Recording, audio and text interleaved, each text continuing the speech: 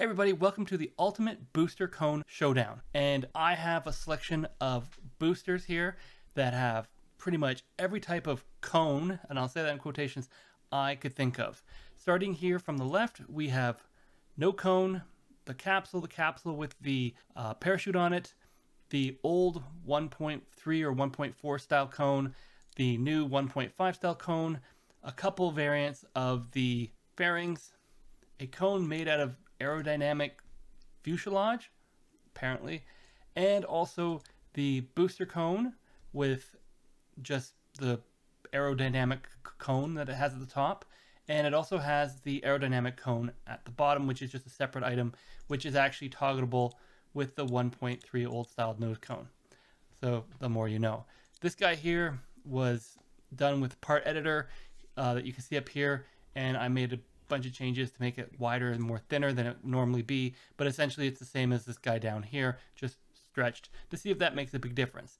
And I know I did a short on this and people asked questions about it, but I just want to quickly show here that yes, I did actually go and add weighting underneath so that every single booster is the same mass. I've also gone and set it up to what I think should be from left to right from the least and most efficient booster setup.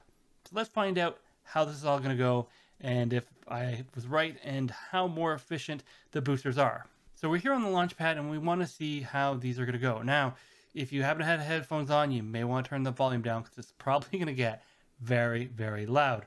And just so you can see here, I have everything staged. I'm going to start the ignition first.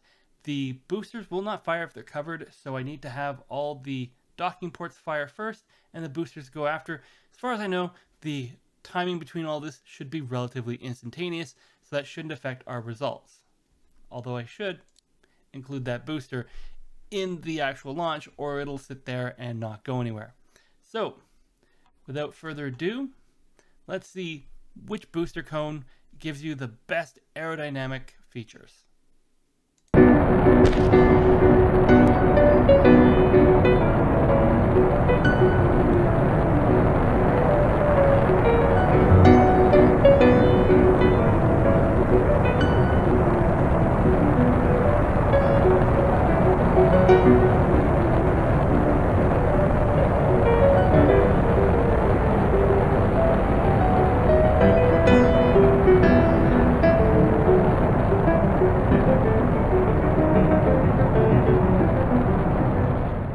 At the end of the day, we ended up with almost three and a half thousand kilometers of elevation before the booster with the best result, which actually not that surprising, was the fairing with the uh, modified top. The next best one was actually the two boosters. The difference between them was almost nothing. So that was an interesting result, given that they both weigh exactly the same. Actually having it as two parts uh, made it slower than the single part unit right here. Um, so that's kind of a neat thing. In third place was actually the 1.3 cone. Um, that's kind of, again, a bit of a surprise, but okay.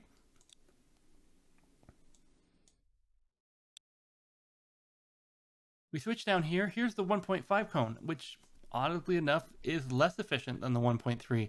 And yeah, I'm actually quite surprised by that. So all the cones I've actually made are more efficient than the stock cone.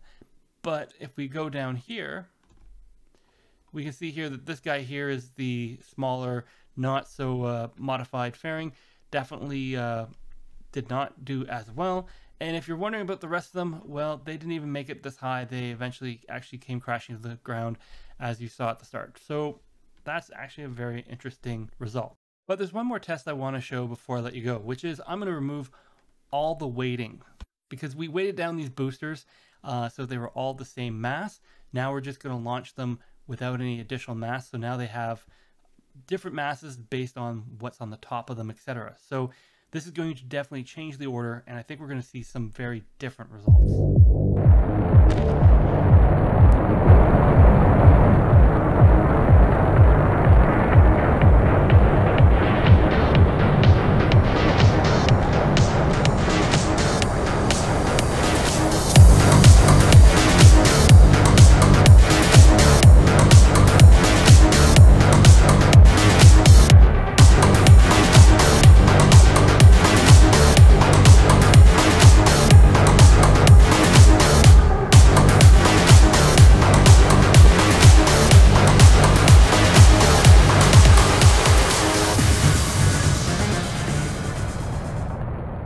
So there's a few things we realize as these rockets run out of fuel. And that is that at the top, unsurprisingly, we have the modified fairing capsule. Not too far away, we have the integrated booster from the pack. A little farther behind, we end up with the booster with the aerodynamic fairings. Surprisingly, this did a very good showing in this uh, version. And coming in last place of the top four, we have the non-integrated aero cone where this is a separate piece on top of the booster. As you see here, a significant difference when we took out that weight. Another interesting side effect of this test is that you'll see here that the rockets end up veering off course. And this actually causes several of them to actually hit each other uh, which is part of the reason why some of the rockets made it to space and some of them obviously here went completely sideways. At the end of the day, the rocket that did the best was this guy right here with the fairing. So I hope you found this test super informative. And if you've spotted any errors, please let me know. I'm happy to always try to correct things. But... Four, three, two, yeah!